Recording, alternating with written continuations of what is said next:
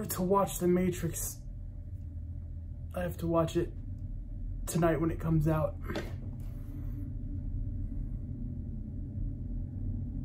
You're not buying that. Okay, that's fine. That's fine. So The Matrix Resurrections has a no cinema score yet. It has a 6.7 average critic rating on IMDb, a, um, a 65 Metasco Metacritic Metascore.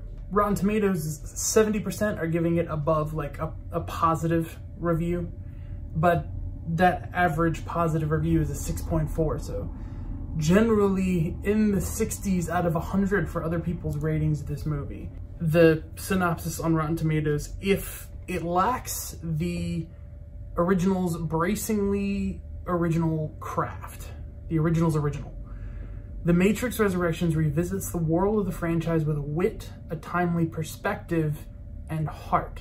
A timely perspective is what I'm looking for. So a little while ago, uh, someone talked to, I think it was uh, Lana Wachowski talked to the press about Keanu Reeves' first reaction to watching this movie, saying that in 1999, they made a movie that predicted the next 20 years of blockbuster movie making, and somehow they did it again. And it's like, okay, that's that's nice of him. And, um, oh look, setting alarms. It's late. Um, then the ad campaign for this movie really grabbed me by the throat. The uh, teases to get to see little bits of extra footage, the idea of putting out a trailer that made this look like something like The Force Awakens, just a soft reboot of the original, but then deliberately playing up to this idea. The Matrix was wholly original, except for the little pieces that were assumed to not be. I mean, there, imagine Morpheus when he's standing in the room with Neo and he talks about the loading dock, uh, clothing, weapons, anything you can imagine. There's this idea of a bendable, foldable world that is potentially limitless. The ideas and the originality and the aesthetic changed the way action movies were made, changed so much about the world. I don't think anyone's going to expect the same level of originality. And yet there was this tease that we've been making movies that are just the same movie, just making more of the same franchises. I mean, like, I, am not down on the things that we like. We like them because we like them. So I'm not going to say that there's anything wrong with continuing to be inspired by the same things and, you know, just work for people. There's this little spark that The Matrix Resurrections was going to be something that reflects on that paradigm, the Force Awakens paradigm of looking back and and trying to respark audience investment in the same story, in the same characters, in the same world. Lana Wachowski has gone on record saying that there is an enjoyable movie at the surface of this movie, and there are seeds for people to enjoy beneath the surface of this movie. And if there is a subtext created story or plot in this movie, I'm going to be looking for it avidly. I really like things like this and never feel smart enough to follow through on them, like to actually come up with my own analytic or theory. So I'm going to I'm going to give it a shot uh, whenever I see this movie to see what the story beneath the surface of whatever this story is is trying to tell me. For the most part, I'm going in just with what I've seen in the trailers, and the trailers were a lot of images from the others showing that this movie was going to somehow parallel or reflect that and have something to say about its connection to the original movies. So I'm looking for something original told through the guise of being something unoriginal why use old code to do something new? That's what came from the trailer. And I'm hoping that there's a story, whether it's at face value or not, that answers that question. So, so I, I'm glad I took a couple of days to think about this one. Let me go ahead and give a quick review for people. Uh, I hopefully you can watch this. You can watch a little bit of the intro, a little bit of the review, and then if I ramble on for extra, people can leave and they can leave happy with what they saw. Like, The Matrix Resurrections is competent. It is Lana Wachowski and Keanu Reeves and Carrie Anne Moss and everyone showing with the addition of Jessica Henwick and Jonathan Groff and a new crew of uh, well Yahya Abdul Mateen's too um, that there's a fan base and a legacy behind this movie. And it tries to play in the world of that movie. There are martial arts. There are characters plugged into machines. There are characters fighting machines. There it's it's what you expect from continuing the matrix at its surface this is sort of a reboot of neo trapped in the matrix wakes up throw a twist in there having to do with trinity and they learn to bend the rules break out and fight agents that are trying to keep human beings suppressed. And on that level it's fine and enjoyable. And on that level I can understand why there are a lot of positive feedback because where some of the sequels laid into a lot of drier discussions and exposition regarding philosophy and the reasons why things are happening. Honestly, this is the first time that I felt like Keanu Reeves and Carrie Anne Moss had real human chemistry. Them engaging as humans, not entirely sure what's going on, felt more real than it did in across three movies of them saying, Because you are the one, I am fated to be in love with you. It's not fate, it's a choice. Generally, action serves its purpose and it's an achievement of a team of people pulling off crazy stunt work. Great. Um, direction, I'm a little iffy on just because you have things like this in The Matrix Reloaded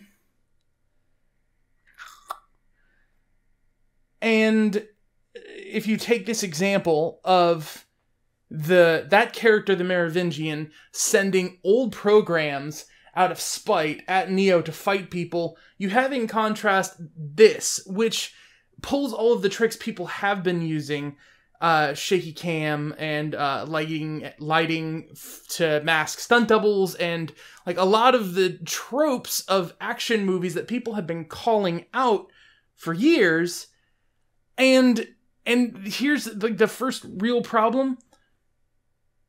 Keanu Reeves is the star of a trilogy of movies that are fundamentally an action crew was tired of working on movies that didn't direct action in a way that felt satisfying and so they were like, we're going to pull the camera back. We're going to show clearly what's happening. We're going to pay attention to the choreography and let it breathe. And we're not going to do quick cuts and jumpy edits and hide things and shake the camera and do all these things that The Matrix does. And it's confusing because I don't know if maybe that's the Lily Wachowski element that's missing. Is this, this graphic novel or comic book or uh, anime inspired style of The Matrix is sort of gone in favor of a more traditional action movie, video game based experience. And it's okay for it to be different because then again, we're talking about a system that's different because of the results of the first three. But there's a little bit of a problem if the fundamental point of your movie is talking about breaking beyond the bounds of what's traditionally possible, and yet what you're showing is your main characters engaging in what's traditionally possible, even like not as great as some things. It's sort of a mixed message visually and mentally. I don't know. Why wake Neo up? The idea is they don't bring up, the humans don't bring up that they need Neo to help win a war. They just feel like, oh, he's imprisoned, and so we have to break him out. Um, but the i mean like at base value people know that the reason there was any peace between humans and machines is because neo sacrificed himself. So if they brought him back why did the machines bring him back? And why are the humans bringing him back? These are two central questions which they don't answer. But in the first matrix movie there was a tease for the sequels before they knew sequels were going to happen. And in this one the analyst does reference people he's working for. And it's possible that this is supposed to be another tease for movies that could happen. But honestly, I can't go any further before I break down what inherently the Matrix story is. As just entertainment and as something philosophical to chew on, fine to great, with a little bit of a knock on the action direction. Um, character wise, like Jessica Henwick brought a lot of uh, sincerity to her character. Um, I was excited about the prospect of guessing what was happening all the way through, and I still feel like it's a little bit flexible in that. Like, I don't 100% understand the opening. Like, do the machines put on a show? I don't know. This is. I'll get into this in a minute. So. The Matrix. 1999 is about people versus machines. The humans blow up the energy source of the machines. So the machines still win. They take over people. And they tell people, we're going to control you because you're our new energy source. They tell people, we're going to put you in a perfect utopia called The Matrix. Matrix 1.0. And human beings go up to it and they say, We don't like this. Now, if you don't believe that this is what happened, let me go ahead and play you a clip real quick. The first Matrix I designed was quite naturally perfect. It was a work of art, flawless, sublime a triumph equaled only by its monumental failure. The inevitability of its doom is apparent to me now as a consequence of the imperfection inherent in every human being. Thus, I redesigned it. Okay. So, afterwards, the machines realize that there needs to be something. The world has to be imperfect for people to accept it, causing a rounding error or a problem in the math and programming of the matrix.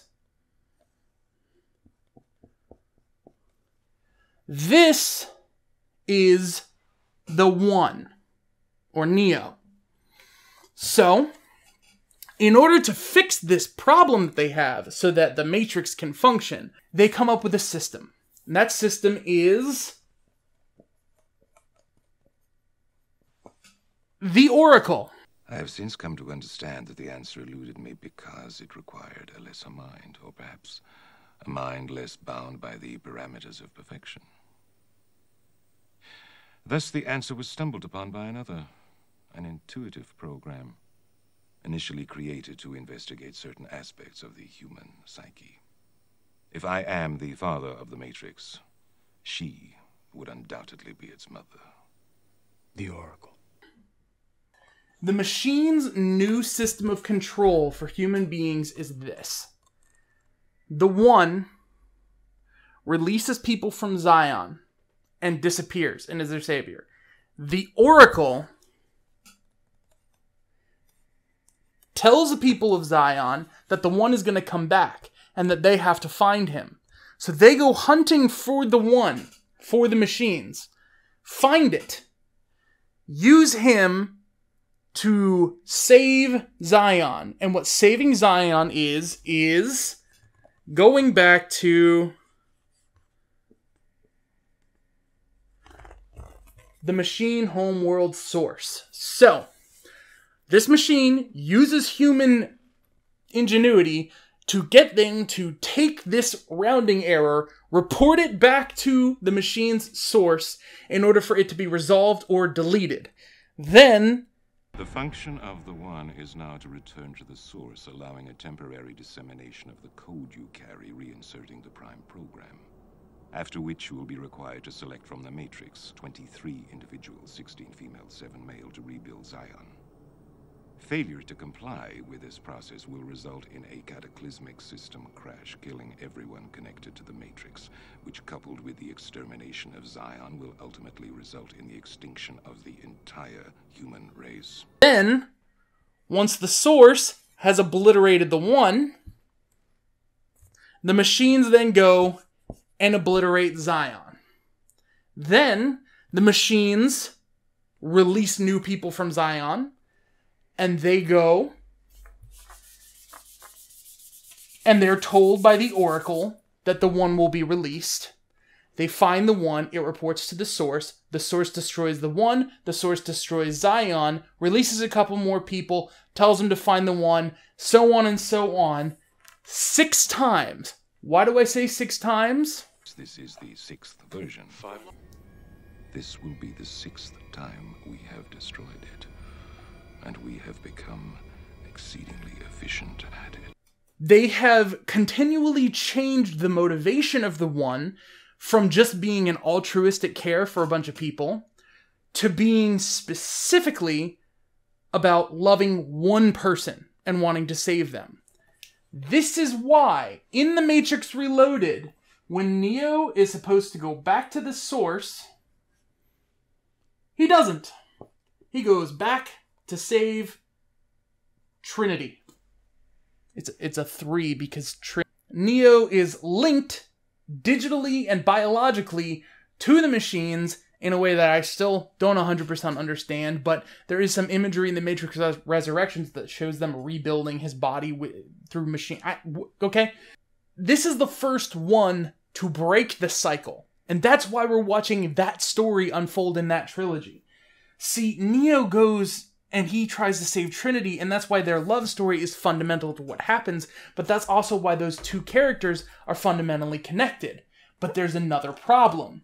There's another result of Neo being the one. He was aware that the one is just a machine thing, they say, that the Oracle was being disingenuous to Morpheus and playing her part in the system. That's the first movie. Know thyself. Are you the one? No. But if you choose to be, you fill out this robotic function. Choice. The problem is choice. The other thing that Neo does, Agent Smith. So, Agent Smith, with his awesome Dragon Ball Z inspired sunglasses,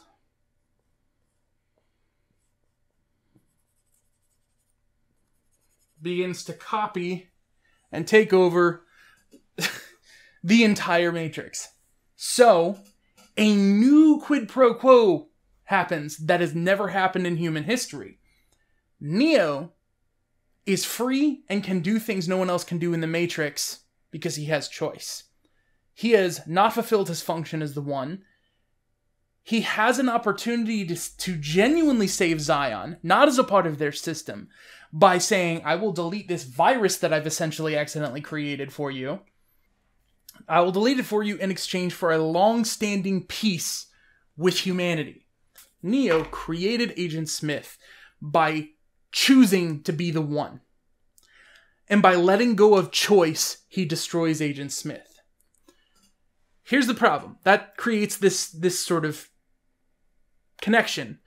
Neo is not Neo without Trinity or Agent Smith. If Neo chooses to exist, Agent Smith exists and is caught in the balance between choice and not choice, which happens at the beginning of Resurrections, and Trinity exists. So apparently, this is the actual plot of the movie The Matrix. This character, the analyst, saw Neo when he was sacrificing himself and destroying Agent Smith.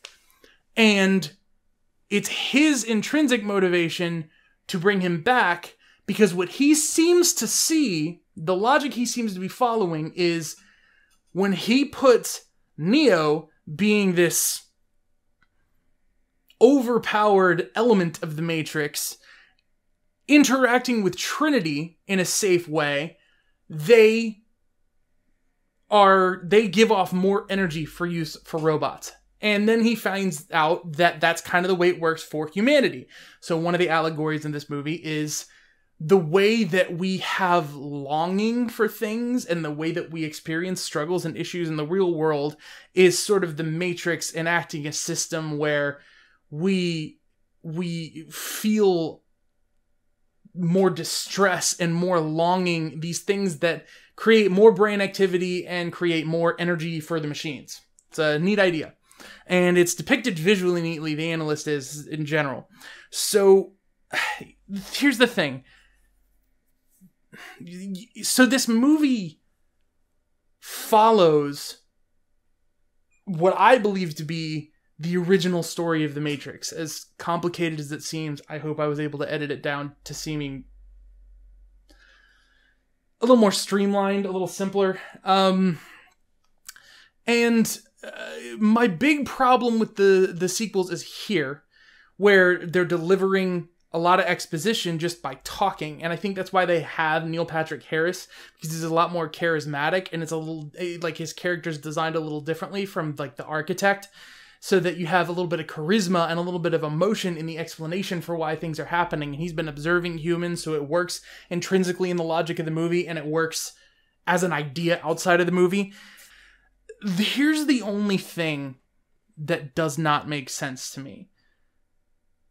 Neo gave them long-standing peace with the machines. Even people who are suspicious of that see it in the activity of the machines. So even if they found out that Neo was alive, they know that the reason that they have peace, especially since characters in The Matrix have played the movies The Matrix as games, they know that messing with Neo upsets that truce, that peace.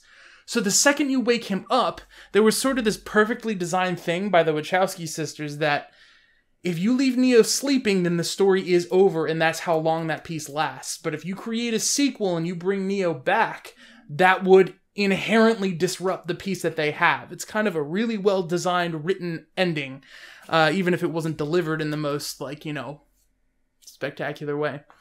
The machines have no reason to bring Neo back. But they the hints are here that something is happening, just like in the Matrix when they reference Reloaded by showing you the screens before the screens are a thing in Reloaded. They are asking him to make a Matrix 4. This is the catalyst that causes everything to happen. The machines have also designed something to cause Jessica Henwick to recognize Morpheus and wake that program, still a program, into a functional Morpheus. Why? There is someone off screen who is the catalyst for causing this to happen. It could be a negative entity who's above the analyst, who's trying to disrupt a truce so that the machine war can continue with the humans and they can go back to their usual system of control. But there's no real logic or reason to it, and that's the idea is machines are cold and logical, so they stop things. Current Zion is flourishing. There may be a bunch of stuff we don't know. I don't know. The machines make Neo make The Matrix 4. Why? The central idea of the original Matrix, like the core ending, underscored literally by Rage Against the Machine, wake up. There are systems in our lives that keep us in a grind and keep us from feeling like larger things are possible in this world or in our lives. And this movie tries to remind people that all we've really done is advance those systems into something different, and we haven't changed. So back when I mentioned that Keanu Reeves uh, commented uh, to Lana Wachowski that this movie has predict- predicted 20 years in the future again, it's interesting because he I, I hope he's right. Because the idea here is at the end, they could fly off and they could make the Matrix all rainbows. They could go make the Matrix 5. And a bunch of people would want the Matrix 5. But if you're paying attention, you should not want the Matrix 5. This movie is explicitly asking you what is the point in a Matrix 5 versus an entirely original, fantastical, idea of a story told, whether in a movie or not, in some way that has merit and worth and, and freedom and value to people that can build something new. And whether people are going to profit off of that, I, don't know. But that's the question is there will be people who will not want this to change, this system. And I, I don't think the people who wanted to change are better because it could be wrong. It could just be destroying one of the last things we have to hold on to in a crazy COVID world where everything feels unstable and we're losing all the staples we have. The climate's gradually getting worse, and eventually we're going to just be looking all back on all this kind of movie theater stuff as memories and we're going to miss it all and we'll all feel terrible and uh, dying inside. But I do think that the point is we are running out of things to do. We are running out of franchises to explore. We got a sequel to Watchmen. We got we got Star Wars. Literally when I'm recording this, the Boba Fett TV show is just coming out. This project is so long in the making that the original idea and creative team behind the creation of the character Boba Fett, not for the Christmas special, I'm not talking, you know what I mean, uh, can't be involved. Okay? The idea of what made that character cool and would what make what would make people want to see a movie about him can't be involved because it, it's been so long we've been continuing to do Star Wars, which is fine, but we could be telling original stories in the Star Wars universe. I mean, even with The Matrix, I've been thinking a lot about Lana and Lily Wachowski, who, you know, previously identified as Andy and Larry Wachowski. And yet you have this concept of a digital world where you can plug yourself in, have a residual self image of whatever you want to be, and not a single time did you have a male character have their residual self image be female because that's who they believed they were on the inside. Like, never did they play with that idea. I mean, there were several things in this movie that are in the first Matrix movie, like depicting uh, the fast movement of the agents uh, differently, um, the pill system. Uh, like so many icons from the first movie that were absent from the sequels, but they're all just from the first movie there's barely anything original. You know, like there's the the shields, force fields, the movement of some things, but there's barely anything original at all in this movie that's all about the potential power of originality and potentially being free from all of these systems and the worth of that freedom. And I just don't understand uh, like I, I maybe this is that's the point is they were in a machine they were in a system and they wanted them to create something and they created what they were supposed to create.